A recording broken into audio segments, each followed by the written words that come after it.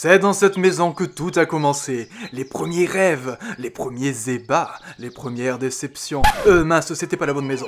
Voilà, c'est celle-là, plus petite, mais quand même très sympa. Je disais donc, c'est dans cette maison que tout a commencé. Les premiers rêves, les premiers ébats, les premières déceptions. Un jour, le jeune homme qui y vit deviendra grand. Il trouvera l'amour, fondera une famille, mais mieux encore, il sera un Sims accompli. Sera-t-il voué à un brillant destin? Saura-t-il suivre son étoile? Dans quelle carrière fera-t-il succès? Parviendra-t-il à assumer toutes ses responsabilités? Tout cela, découvrons-le ensemble dans Les Sims 4, Eric Lafleur, la nouvelle sitcom phare du YouTube Gaming.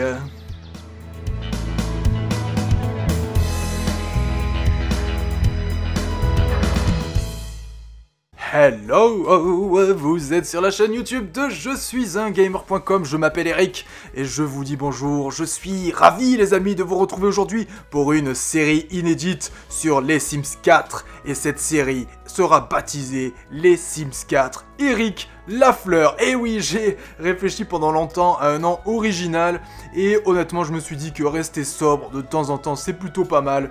Le Sims que j'ai créé dans la vidéo que vous avez pu voir la semaine dernière s'appelle Eric Lafleur. On va donc partir sur les Sims 4. Eric Lafleur, j'ai fait des petites modifications sur ce Sims toutefois. Dans la vidéo que vous aviez pu voir, c'était un adulte, j'ai décidé d'en faire un adolescent, car l'adolescence, eh bien c'est beaucoup plus fun à vivre, regardez. Eric Lafleur, est-ce que son adolescence a l'air fun? Oh, c'est pas sûr parce que le pauvre, il est au niveau social, il est pas au top et puis en plus de ça, il est en train de faire une chose que les ados détestent faire. Eh bien, c'est la vaisselle. Faire la vaisselle, ça c'est chiant. Alors, il joue un petit peu avec son portable et regardez qui frappe à la porte. Hmm, une jolie jeune femme, une brune avec une jupe. Oh, il l'a fait rentrer. Ah, mais c'est plutôt, c'est qu'elle est plutôt sympatoche. C'est une asiate, une gothique. Ah, on va lui dire bonjour.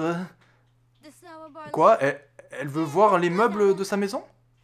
Ok, et maintenant voilà qu'elle se met à parler de peinture. Oh, très intéressant. Bon, je vais évacuer le stress du pauvre Eric Lafleur là. Vous le voyez sur le coin euh, inférieur gauche de l'écran, il est très tendu. Alors, allez, vide ton anxiété, mon petit gars, parle de tes problèmes.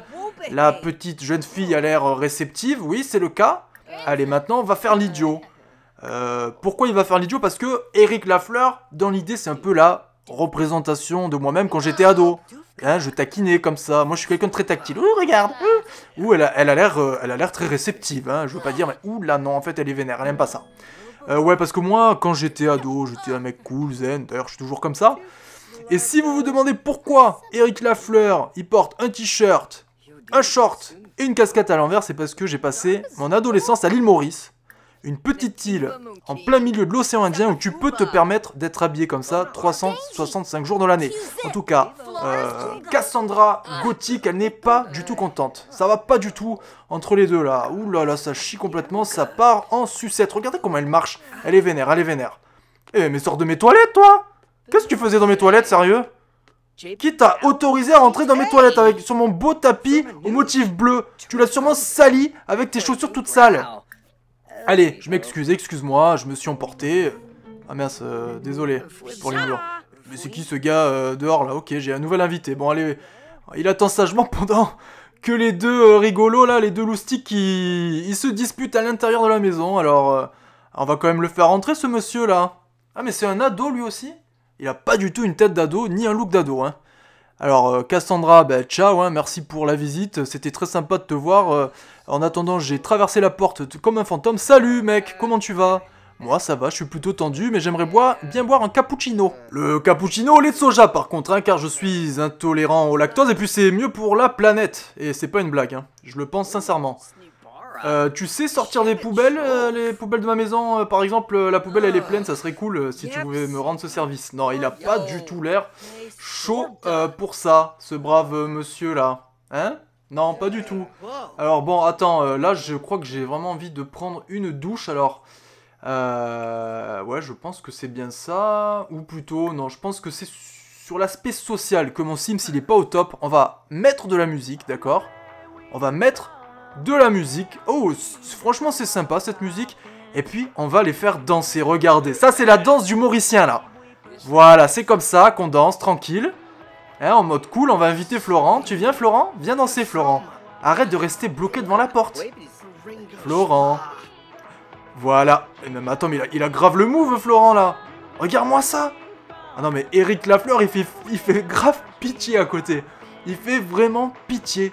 Moi je danse en mode euh, le mec euh, en boîte là, tu sais, qui sait pas danser, qui fait style. Mais euh, Florent, il a grave le truc quoi. Il a attrapé le virus de la danse, il, remue bien son body. Regarde-moi ça là. En mode hip-hop là, il, est chaud avec son costard. Il est beau, il est fringant, il est là. Et moi par contre je suis vénère. Eric Lafleur il est vénère. C'est probablement à cause de Cassandra Gothic et parce qu'il n'a pas suffisamment joué aux jeux vidéo.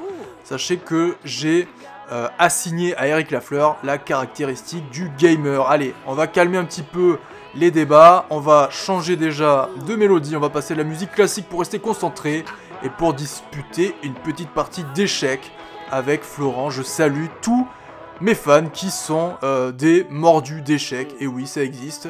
Euh, je sais pas pourquoi je vous dis ça, mais c'est parce qu'il faut bien que je tiens 4 minutes encore, hein, jusqu'à la fin de la vidéo. Donc vous savez, dans une vidéo comme ça, faut avoir des choses à raconter, faut avoir des choses à dire. Florent par exemple, il parle des ampoules, moi je parle des jumelles, et lui il parle... Euh, ah non, il réfléchit en fait, il réfléchit à son prochain coup, et moi aussi d'ailleurs. Ça c'est quand même bien foutu, hein. Vous avez vu que dans la bulle, j'ai un pion noir parce que je joue avec les noirs. Florent a un pion blanc parce qu'il joue avec les pions blancs. C'est le blanc et le noir, le yin et le yang. Vous avez compris le délire. Bon, alors là, pour information, j'ai ouvert mon smartphone parce que j'ai envie de commander des pizzas. Parce que bon, Eric Lafleur est dans une phase d'inspiration profonde, il n'a pas le temps d'aller faire à manger, en plus il doit jouer aux échecs avec euh, l'autre copain. Il va commander des pizzas. Euh, alors on va dans acheter un service. Et normalement là on va... Il y a un écran qui va s'ouvrir je crois. Attends, il faudrait que je, je coupe tout ça. Voilà, livraison de pizza, parfait. Euh, pizza au fromage, c'est très bien, pizza au fromage. Je vous conseille, je vous recommande les pizzas 4 fromages même. Hein. Les pizzas au fromage, ce sont des pizzas 4 fromages. Tandis qu'Eric Lafleur commence à avoir la vessie, une vessie critique, hein, une vessie euh, problématique. Alors, allez, un petit bond dans le temps là, Eric Lafleur, il est fatigué, il fait dodo. Et décidément, tous mes invités ont quelque chose avec mes toilettes. Ils, ils squattent tous mes toilettes. Et voilà qu'un nouveau mec vient taper l'incruste. Alors, Eric Lafleur, il a un petit peu dormi, pas au top, mais bon, on va dire que ça va. Euh, il va aller manger quelque chose, rapidos, hein, comme font les ados, hein, finalement. Euh.